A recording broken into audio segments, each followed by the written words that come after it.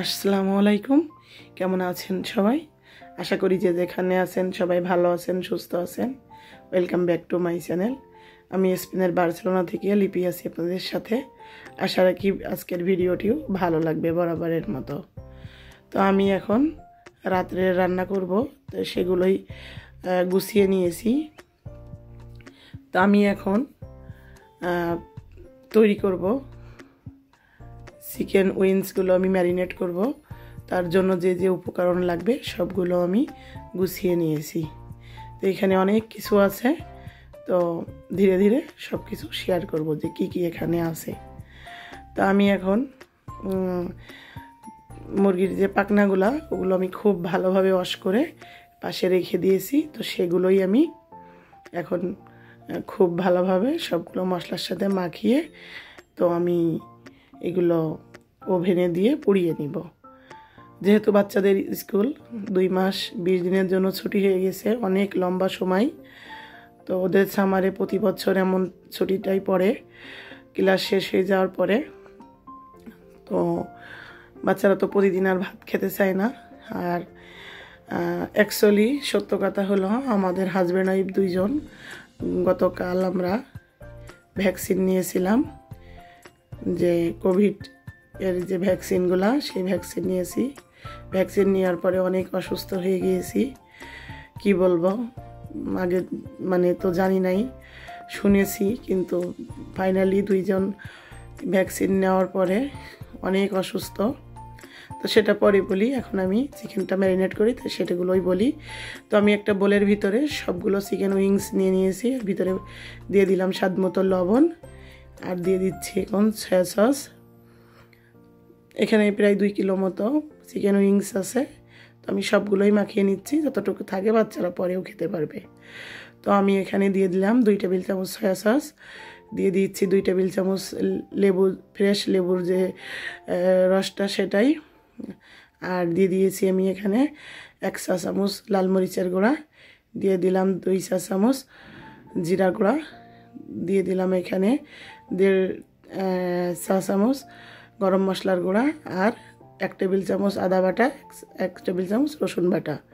আর এখানে দিয়ে দিয়ে এলাম আমি তান্দুরি মশালা সেটাই দিয়ে দিলাম। বেশ, দুই টেবিল চামচ। আর এখানে আমি ব্ল্যাক পেপারটা দিয়ে দিচ্ছি ক্রাশ করে। তো আমি ব্ল্যাক পেপার ক্রাশ করার পরে এখানে আমি দিয়ে দিব ডিম।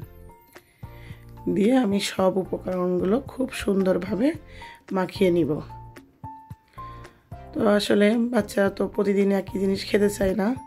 ওদের পছন্দ যে জিনিস সেটাই ওদের খেতে দিতে হয়। তো এখানে আমি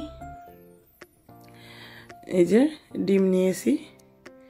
তো আমি যেহেতু অনেকগুলো চিকেন, আমি এখানে দুইটা ডিম অ্যাড করব। দেখিয়েছি একটা, কিন্তু আমি অ্যাড করব কিন্তু দুইটা। কারণ পরিমাণে একটু বেশি হলে একটু তো বেশিই লাগে। তাই তো আমি দুইটা ডিম অ্যাড করে নিলাম। তো সব কিছু আমার দেওয়া হয়ে গেছে। তো বাকি আছে টক দইটা, তো ওইটাও একটু পরে দিয়ে দিব। তো আমি সব কিছু এবার ভালোভাবে মাখিয়ে নেব। খুব ভালোভাবে চটকে চটকে মাখিয়ে নেব। আর আমি এখানে দিয়ে দিব, যেহেতু আমি এখনই এগুলো পুড়িয়ে নিব। তো এই কারণে আমি একটু এক টেবিল চামচ ভিনেগার দিয়ে দিয়েছি। তাহলে খুব তাড়াতাড়ি এটা ম্যারিনেট হয়ে যাবে। তো যেহেতু আমার টাইম নাই বেশি, ওদের বাবার মানে এই টিকাটা দেওয়ার পরে, ভ্যাকসিন নেওয়ার পরে অনেক অসুস্থ হয়ে গিয়েছি। তো এই কারণে মুখের রুচি একেবারে নষ্ট হয়ে গিয়েছে। তো আমি ফাইনালি কিন্তু টক দইটাও দিয়ে দিলাম। দিয়ে খুব ভালোভাবে আমি মাখিয়ে নিব। উল্টে পাল্টে খুব ভালোভাবে মাখিয়ে নিব। তো যা বলছিলাম ভ্যাকসিন নেওয়ার পরে অনেক অসুস্থ, সারা রাত ঘুমাতে পারিনি আমি। বা আমার হাজব্যান্ড দুইজনই, হাতে পায়ে ব্যথা, পুরো গিরেই গিরেই ব্যথা প্রচণ্ড জ্বর। আর হাত পা মানে কামড়াই, আমাদের দেশে বলে যশোরের ভাষায় যে কামড়ানো বা অনেকে বলে চাবানো, যেটাই হোক সেটাই হয়েছে। আর অনেক মাথা ব্যথা বা মাথাটা ঘোরাচ্ছে, ব্যথা না ঘোরাচ্ছে। আর হলো হাত তো প্রচণ্ড ব্যথা। তো আগের থেকে বেশ কিছুটা এখন একটু ভালো লাগছে। জানি না আজকে রাতটা কেমন যাবে। তো আশা করি সবাই দোয়া করবেন, যাতে ভালো থাকি। কারণ এত অসুস্থ হয়ে গেলে বিদেশের বাড়িতে বাচ্চা কাচ্চা নিয়ে অনেক কষ্ট হয়ে যায়। এখানে তারা আমাদের আপনজন কেউ নাই। নিজেদেরগুলো নিজেদেরই করা লাগে। এই তো, চিকেনটা কিন্তু আমার ম্যারিনেট হয়ে গিয়েছে। এখন আমি এটা ওভেনের ভিতরে দিয়ে দিব। তো আমি দুপুরে রান্না করেছিলাম ডাল, আলু ভর্তা। ভাত রান্না করেছিলাম আর ডাল আর আলু ভর্তা।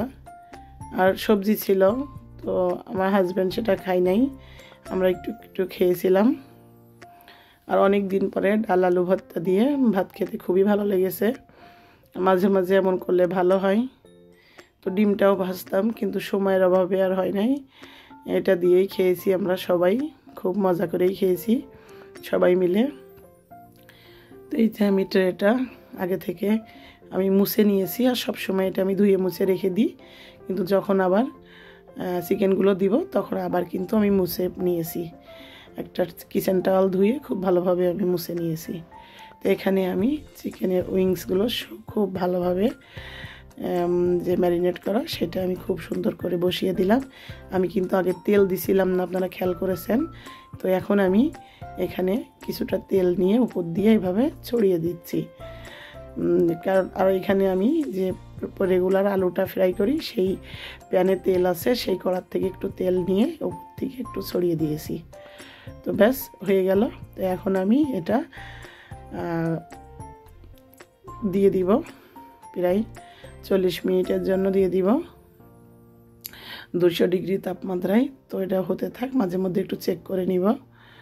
এই যে চেক করে নিয়েছিলাম মাঝে একবার। তো পরে আবার একটু ঘুরিয়ে দিয়েছি ট্রেটা তো এই তো পোড়ানো কমপ্লিট হয়ে গিয়েছে। তো এখন আমরা রাত্রে সবাই খেয়ে নিব। আসলে জ্বর আসলে মুখের রুচি তো সবাই জানেন, নষ্ট হয়ে যায়। আর এবার জানি অন্যরকম একটা মানে ভাব, যেটা সচরাচর জ্বর এমন আসে না। তো এই যে রাত্রের খাবার আমাদের রেডি তো বাচ্চারা তো এখনও দেখে নেয় তো আমি এখানে আমার বেশ কিছুটা আটা মাখানো আছে। সেটাই আমি দিয়ে একটু রুটি করে নিব। জাস্ট নানের মতো করেই খামিটা করা, কিন্তু আমি এটা নানের ক্যাটাগরিতেই করা, কিন্তু নান করব না, একটু পাতলা করে রুটিটা করে নিব। এই তো, চিকেনটা আমি খুব সুন্দরভাবে গুছিয়ে নিয়েছি, সার্ভ করে নিয়েছি। আর এখন আমি রুটিগুলোও করে নিয়ে জাস্ট ডাইনিংয়ে দেখা হবে ইনশাল্লাহ তো এটাই ছিল আমাদের রাতের খাবার। আসলে অনেক কিছু শেয়ার করতে ইচ্ছা হয়, তা কিন্তু অসুস্থতার কারণে হয় নাই। তো যেতটুক রাতের খাবার রেডি করেছি, সেটাই শেয়ার করলাম। তো এই যে কিছু রুটি করে নিয়েছি, একটু বড় বড় করে নিয়েছি। আর হলো এই যে চিকেন উইংস দিয়ে খাবে সবাই।